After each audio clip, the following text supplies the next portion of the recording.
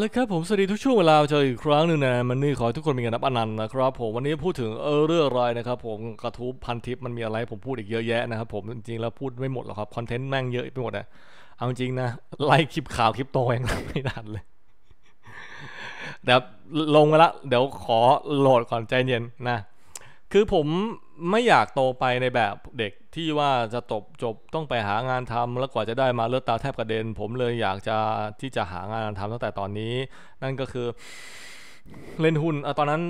เจ็ดมกราสองห้าห้าแปดตอนนี้สองห้าหกห้าก็ผ่านมาแล้วทั้งหมดเจ็ดปีด้วยกันเด็ก ตอนนี้อายุสิบห้าก็น่าจะยี่สิบสองแล้วนะครับผม เล่นหุ้นนั่นเองครับผมเรื่องหุ้นผมก็ศึกษามาพอสมควรแต่มันก็ติดใจอยู่นิดหน่อยคือการเปิดบัญชีหุ้น หรือบัญชีผู้เล่นหุ้น เออหรืออะไรสักอย่างเนี่ยแหละครับ ไม่ไม่รู้เรียกว่าไงเห็นในวิธีสมัครบอกว่าต้องการแบบฟอร์มคำขอเปิดบัญชีซื้อขายหลักทรัพย์สัญญาแต่งตั้ง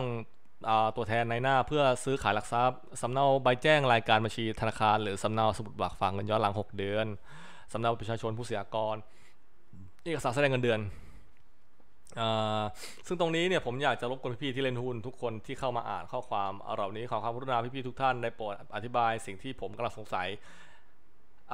ฮะที่ผมได้กล่าวไว้ในเบื้องต้นหน่อยนะครับ และสิ่งที่ผมสงสัยเป็นอันดับหนึ่งก็คืออายุ 15 เล่นหุ้นได้ไหมปอรอผมหวังว่าสิ่งที่ผมได้เขียนไปในเบื้องต้นนี้คงไม่ได้ไปขัดใจพี่ๆท่านไหน หรือไม่ไม่พอใจเลยในข้อความที่ผมเขียนข้าตัวขอภายในที่นี้นะครับ ด้วยความเคารพอย่างสูงผมว่าเด็กคนนี้เป็นเด็กที่มีอนาคตไกลตอนนี้ยี่สิบสองแกน่าจะเล่นหุ้นกันเมามันอยู่นะครับผมก็มีคำตอบที่มีสาระนะครับผมถ้าเปิดในชื่อตัวเองไม่ได้ครับต้องเปิดในชื่อผู้ปกครองก็ลองคุยให้เขาเปิดดูข้อข้อหนึ่งข้อ 2 มันก็คือเอกสารในการกรอกพอบัญชี ส่วนใหญ่ดาวน์โหลดจากเว็บ ข้อ 3 ถึงข้อ5นั่นแหละสำคัญครับมันคือรายการเดินบัญชีเป็นตัวบอกกับรายรับรายจ่ายว่ามีงานมีการมีรายรับรายจ่ายประจำอะไรทำนองนี้ครับผมสรุปสมัครชื่อตัวเองไม่ได้ครับ ทั้งนี้ทั้งนั้นผมบอกได้ไว้ก่อนเลย นี่วันนี้ไม่ใช่สูตรสำเร็จตายตัว ถ้าเข้าสู่โลกนี้จะต้องประสบความสำเร็จนะครับ อย่าไปทิ้งเรื่องอื่นๆ โดยเฉพาะอนาคตทางอาชีพและการศึกษา เพราะเพียงว่าได้มารู้จักสิ่งเหล่านี้นะครับ โอเค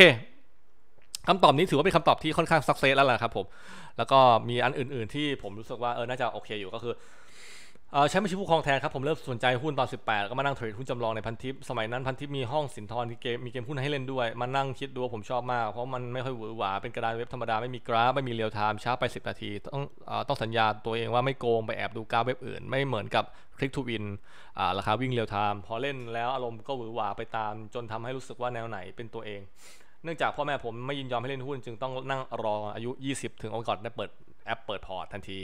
ผมก็ไม่รู้ว่าเขาจะตรวจรายการในบัญชีทำไมนะครับ เพราะตอนนั้นใช้วางเงินสด 50,000 บาทในบัญชีก็แค่เงินฝากเด็กนักเรียนคนหนึ่งนะครับ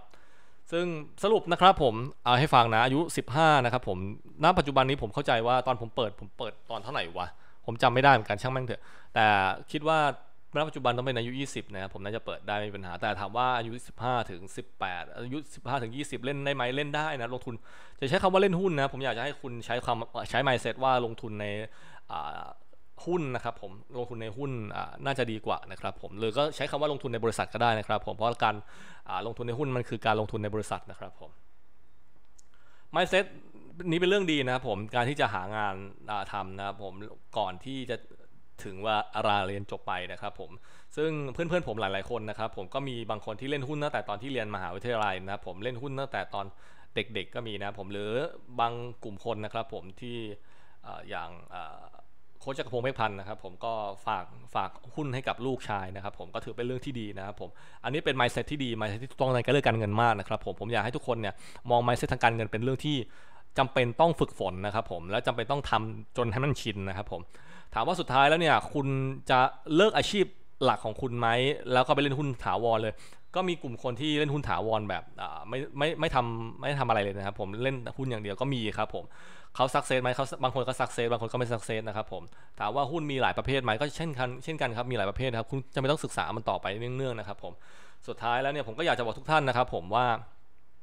ไม่ว่าจะเป็น mindset ด้านไหนนะผมการคริปโตลงทุนด้านหุ้นลงทุนด้านอะไรก็ตามเนี่ย ไม่ว่าจะอายุเท่าไหร่ก็ตามนะครับ คุณสามารถที่จะลงทุนมันได้นะครับ ผมเพียงแค่คุณศึกษามันนะครับ ผมมีความรู้มีประสบการณ์นะครับ ผมแล้วก็ใจต้องนิ่งนะครับ ผมยกตัวอย่างเรื่องหนึ่งนะผมของเด็กอายุ 12 ปีนะผมจากชนชาติเกาหลีนะครับผม สืบเนื่องมาจากว่าเขาเล่นหุ้นนะครับได้กำไรประมาณ4 0 0 0 0 0 บาทนะครับผมได้กำไรประมาณ 49%นะครับแต่ต้องอย่าลืมข้อหนึ่งนะครับผมก็คือเขามีจุดเริ่มนะครับผมมีจุดลงทุนนะครับผมและเขาก็ไม่ลืมนะครับผมที่จะรับความเสี่ยงนั้นได้ได้นะครับผมซึ่งถามว่าเด็กอายุ 10 กว่านะผมเพื่อจะรับความเสี่ยงในปัจจุบันเนี่ยผมว่ามันเป็นอะไรที่ค่อนข้างหนักไปเหมือนกันนะครับผมแต่ไม่ใช่สิ่งไม่ดีครับผมและการที่ มีโฆษณาประชาสัมพันธ์นะครับผมที่เด็กให้ให้เด็กมาเทรดหุ้นให้ดูให้โชว์ให้ดูในสถาบันอะไรก็ตามนะครับผม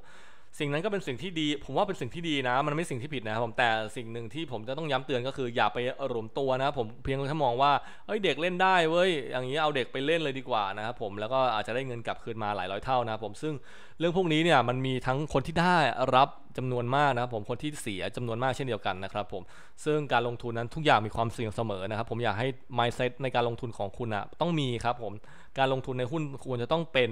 ตั้งเด็กๆควรจะต้องเป็นแล้วล่ะควรจะต้องเออรู้แล้วว่าเออเราควรจะทำยังไงนะผมลงทุนในคริปโตทำยังไงนะผมซึ่งเรื่องพวกนี้เนี่ยเป็นเรื่องที่